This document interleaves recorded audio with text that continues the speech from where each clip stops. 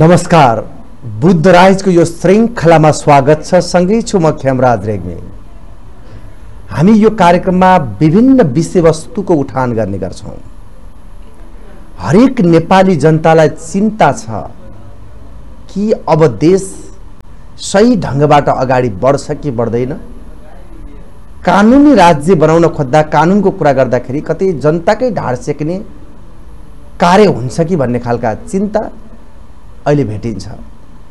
विशेष गरी अहिले जताततै बहसको विषय बनेको छ उन्नाइस सय चारमा जङ्गबहादुरले लागू गरेको र पछि एक सय पैँसठी वर्षपछि उन्नाइस सय दस उन्नाइस सय दसमा जङ्गबहादुर लागू गरेको मुलुकी ज्ञान र एक सय पैँसठी वर्षपछि जुन संशोधनसहित एउटा कानुन विस्थापित अर्को स्थापित गर्ने कार्य भयो।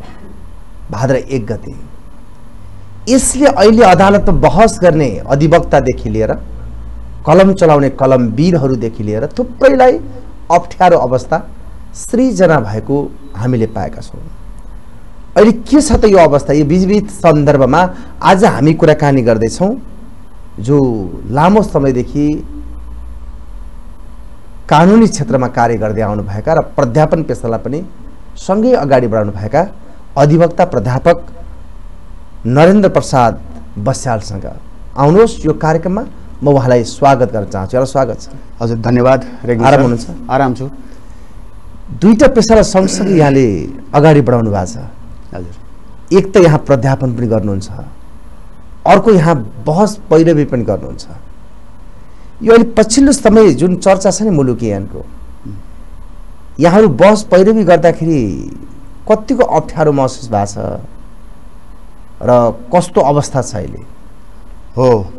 रेग्मी सरले भन्नुभयो जस्तो के छ भने समय सान्दर्भको रूपमा हेर्दाखेरि कानुन परिमार्जन भएको छ परिवर्तित भएको छ अहिले।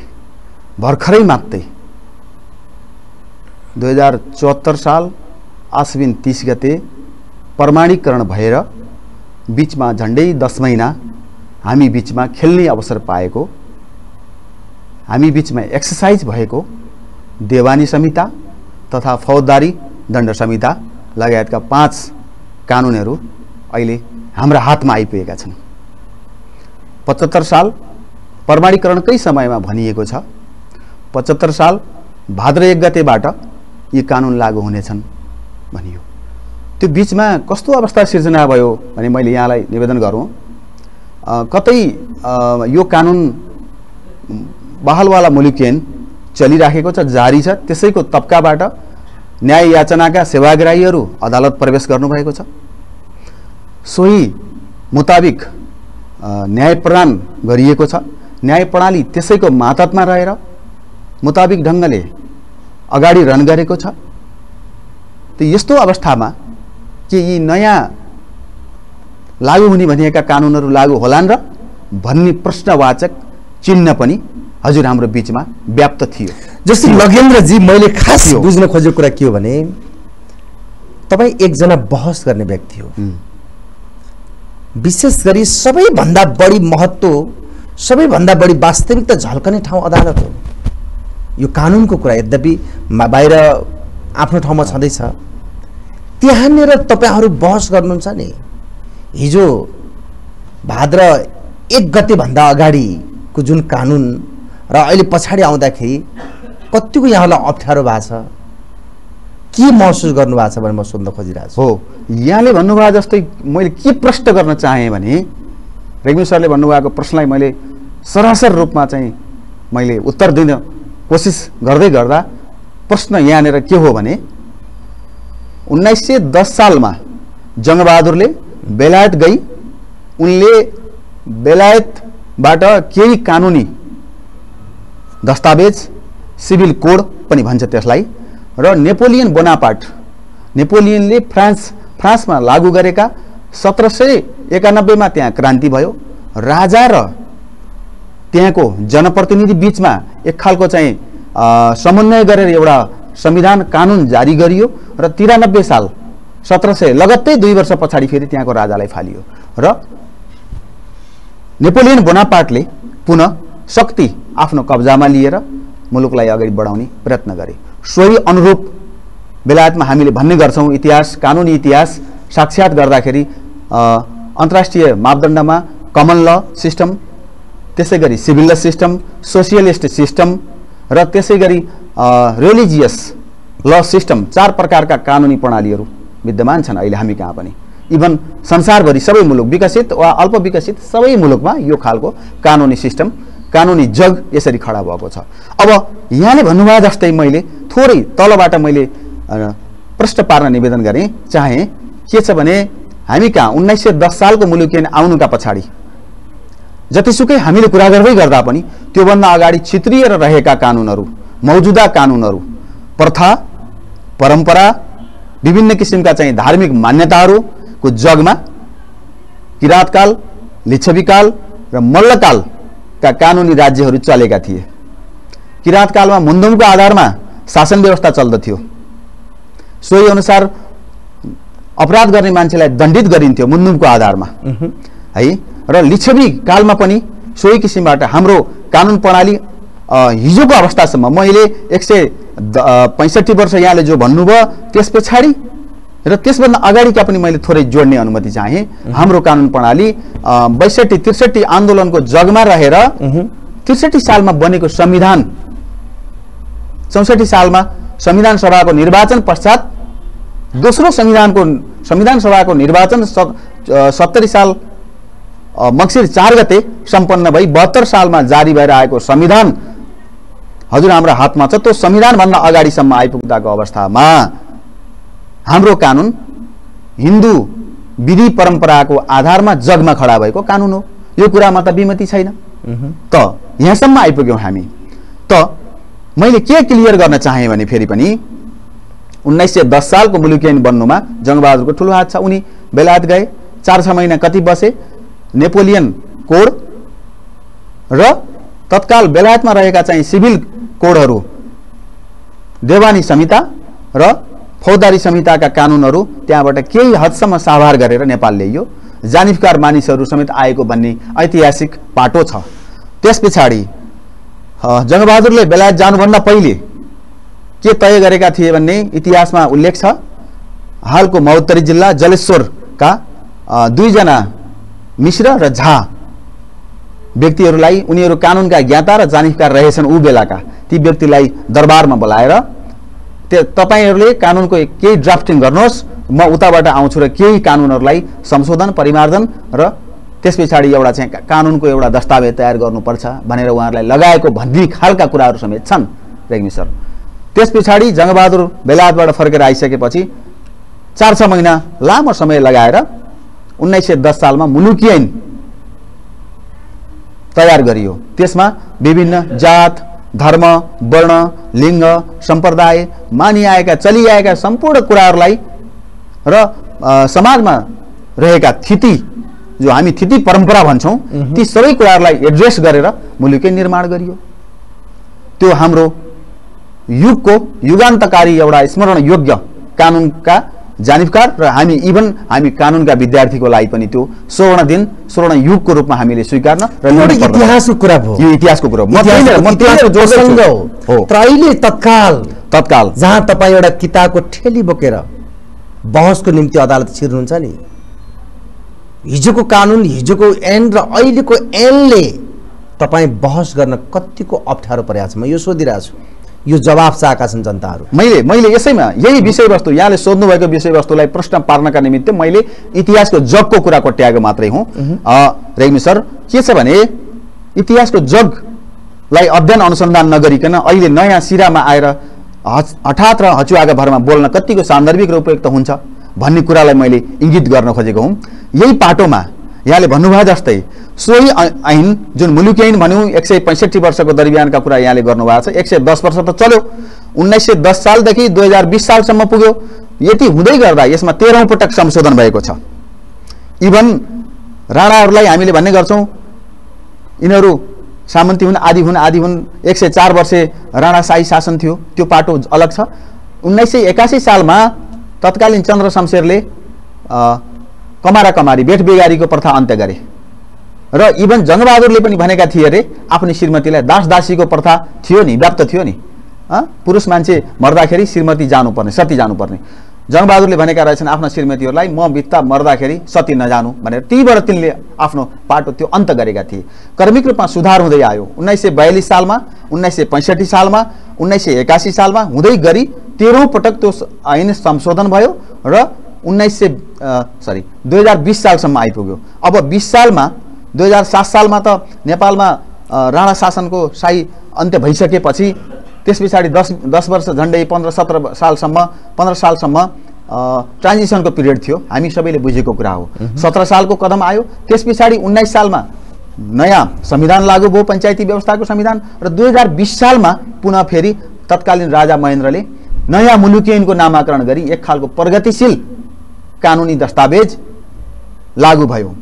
सो सो नयाँ मुलुक पनि फेरि मैले के जोड्न चाहेँ भने अघिल्लै उन्नाइस सय दस सालको मुलुक जगमा रहेर केही परिवर्तन र केही पश्चगामी सोचहरूलाई परिवर्तन गरेर नयाँ सिराबाट आयो र सो मुलुक फौजदारी तथा देवानी दुवै संहितालाई संहिताबद्ध गरी कोडिफाइड गरी एउटा एक्टको रूपमा आयो र पैँस पचपन्न वर्ष यानि कि दुई साल भदौ एक गतेदेखि दुई साल भदौ एक गते भन्दा अघिल्लो दिन दुई हजार चौहत्तर सा पचहत्तर साल साउन एकतिस गतेसम्म सोही मुलुक ऐनका जगमा रहेर हामीले काम गऱ्यौँ गरेका छौँ मैले फेरि पनि प्रश्न गर्न चाहेँ जुन दुई हजार पचहत्तर साल साउन एकतिस गतेसम्म दर्ता भएका अदालतमा विचाराधीन रहेका मुद्दाहरू ती मुद्दाहरूको हकमा सोही मुलुकी ऐन जुन हामीले प्रतिस्थापन गऱ्यौँ मुलुकी ऐन दुई हजार बिस सो मुलुकी ऐन दुई हजार बिस चौधौँ पटक संशोधन भएको छ।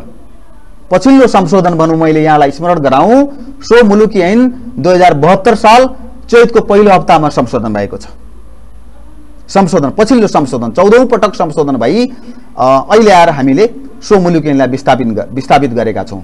समयानुकूल रूपमा परिवर्तन हुन जरुर छ भन्ने ठानेर राज्य नागरिक सबै सबैको हकमा इक्वालिजमको रूपमा यसरी आएको अवस्था हो। सो अहिले अहिले आएर देवानी संहिता र फौजदारी संहिता गरेर पाँचवटा ऐनको रूपमा चाहिँ हामीले त्यसो भए। तपाईँको विचारमा जुन मुलुकी ऐन लागू भयो चाहे त्यो अपराध संहिताको कुरा होस् चाहे देवानी त्यो एकातिर छ। कि प्रयुक्त छ कि जनताको हितमा छ? आम पेसाकर्मीहरूको हितमा देख्नुहुन्छ तपाईँ यो कानुन? के लाग्छ यहाँलाई? हो यहाँले भन्नुभएको प्रश्नलाई मैले अब प्रश्न गर्न चाहेँ।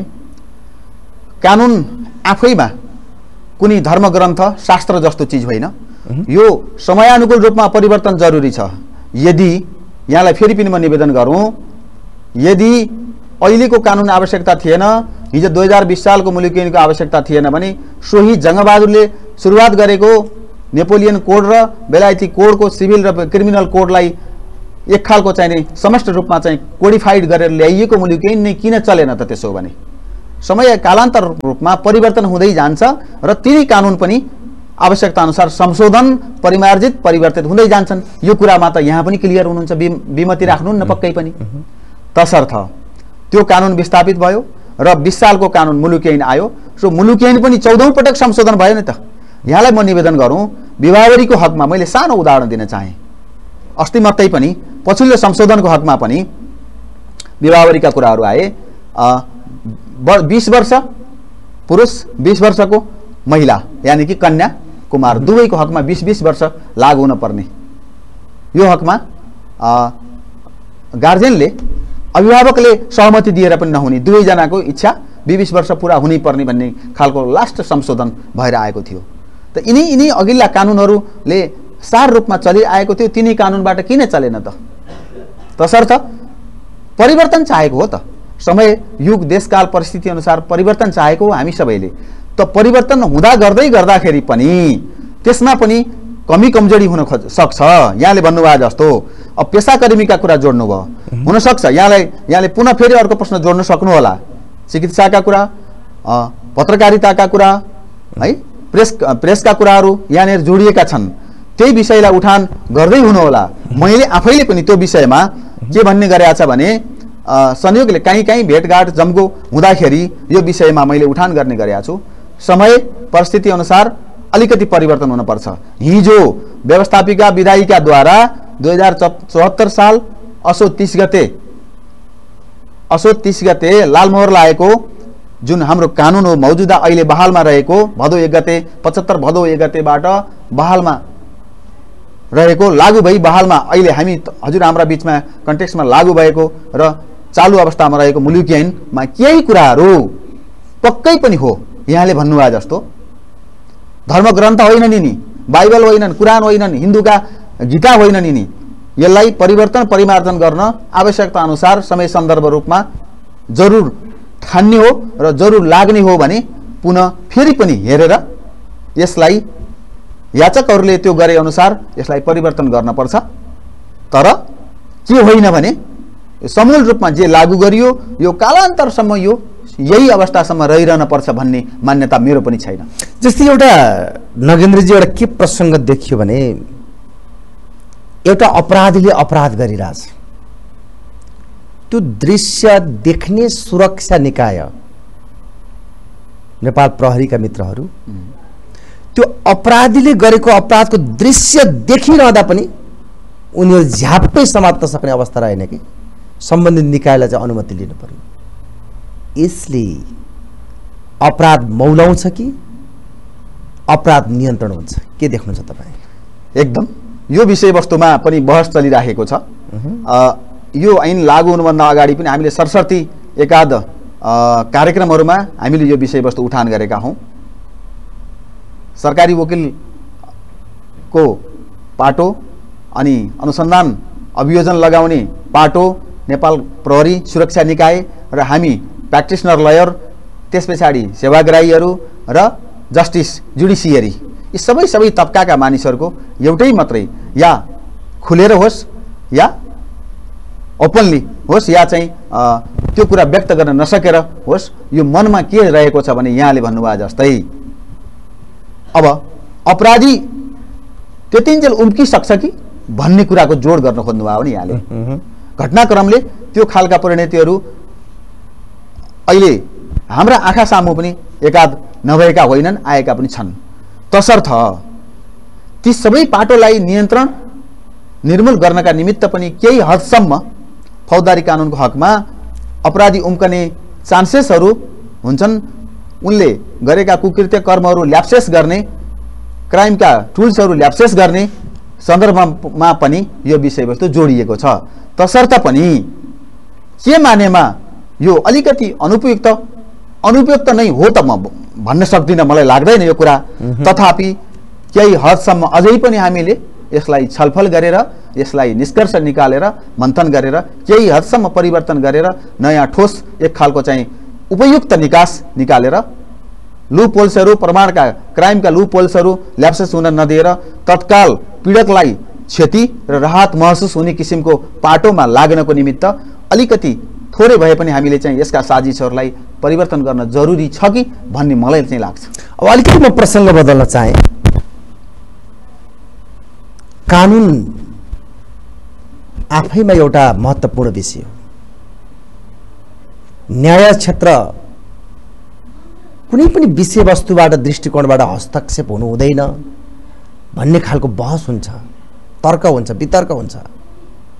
तर आज जहाँ पनि राजनीति घुसिरहेछ, यसले अब के सङ्केत गर्दैछ, तपाईँ के बुझ्नुहुन्छ? बडो राम्रो प्रश्न सोध्नुभयो। मेरा मनमा पनि यो कुरा खेलिराख्ने गरे हो। त के छ भने, हामी भन्ने गर्छौँ स्वतन्त्र न्यायपालिका। सुरुमै हामी भन्ने है? स्वतन्त्र इन्डिपेन्डेन्स जुडिसियरीको कल्पना हामीले हाम्रो राज्यले गरेको छ। संविधानमा पनि र अरू अन्य कानुनहरूको हकमा पनि प्रष्टै भावनामै झल्किने र व्यवहार त यो हुनुपर्छ भन्ने मूल्य मान्यताका आधारमा हामीले जग खडा गर्न खोजेका छौँ। प्रष्ट रूपमा भन्ने भन्न पर्दा त कता कता मलाई पनि लाग्दछ। इभन मैले पञ्चायतका समय मैले भोग्न चाहिनँ म त्यति बेला बाल्यकाल थियो। पढ्दै गरेका गरेका अवस्थाहरू हुन्। मलाई लाग्छ मैले सुन्ने गरेको छु मैले आदरणीय अग्रज गुरुहरू वरिष्ठतम वरिष्ठतम विद्वान अग्रजहरूबाट पनि मैले सुन्ने गरेको छु। सभा सम्मेलनमा कानुन व्यवसायिका सम्मेलनहरूमा परिषदहरूमा पटक पटक सुन्ने गरेको छु र कता कता कता कता अध्ययन अनुसन्धान गर्दै खोज तलास गर्दै जाँदाखेरि पनि अहिलेको अहिलेको यो अवस्था थोरै त्यति साह्रै धेरै त भन्न म सक्दिनँ चाहन्न पनि। थोरै कता कता अलिकलि अलिक केही हदसम्म यसले विकृति विसङ्गति ल्याउन निम्ताउन प्रयत्न गर्दैछ कि भन्ने मलाई पनि आभास हुन्छ त मैले जोड्न चाहेँ यहाँनिर योभन्दा अहिलेको परिस्थिति भन्दा जुडिसियरीभित्रको अहिलेको जुडिसियरी माथि हुने गरेका हस्तक्षेपका कुराहरू यहाँले भन्नुभयो चाहिँ त्यो अवस्था कहिले थिएन भने मैले सुन्दा बुझ्दा जान्दा दुई हजार छत्तिस सैँतिस सालको जनमत सङ्ग्रह पछाडि सुधारिएको पञ्चायत भनेर भनिन्थ्यो सायद। त्यो समयदेखि छयालिससम्मको पिरियड दस वर्षे पिरियड एक हदसम्म आमूल रूपमा समूल रूपमा चाहिँ होइन तर केही हदसम्म। अहिलेको तुलनामा कम्पेयर गर्दाखेरि त्यो पिरियड जुडिसियरीको हकमा अलि अहस्तक्षेपकारी भूमिका थियो। रोयल प्यालेस दरबार रहेको अवस्थामा पनि अहस्तक्षेपकारी थियो र स्वच्छन्द थिएनन् त्यति बेलाका सबै न्यायकर्मीहरू।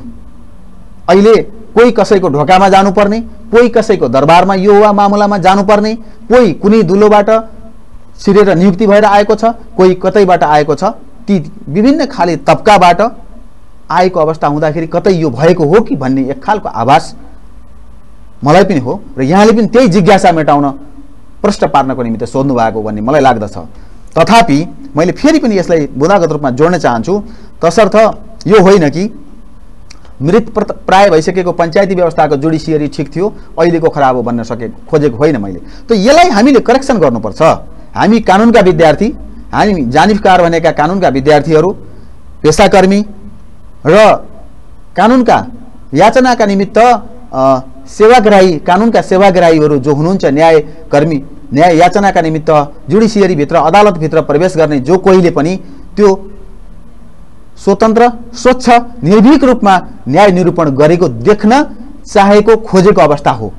त्यो अवस्था हामीले सिर्जना गर्न हामी प्रयत्नरत हुनुपर्छ। त्यसमा एउटैको पाटोले मात्रै त्यो सम्भव छैन।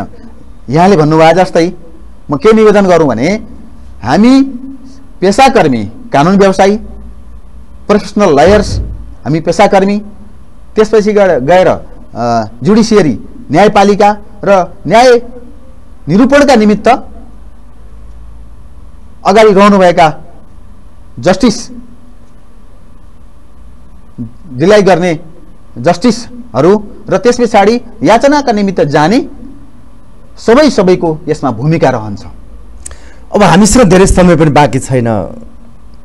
जुन खालको कानुनी अधिकार अहिले स्थानीय तहलाई पनि दिएको छ कानुन हेर्ने भनेर। अब सबै जनप्रतिनिधिहरू कानुन बुझेका जानेका निर्वाचित भएर आएका छन् भन्ने पनि छैन। होइन? एउटा जटिल विषय पनि हो कानुन।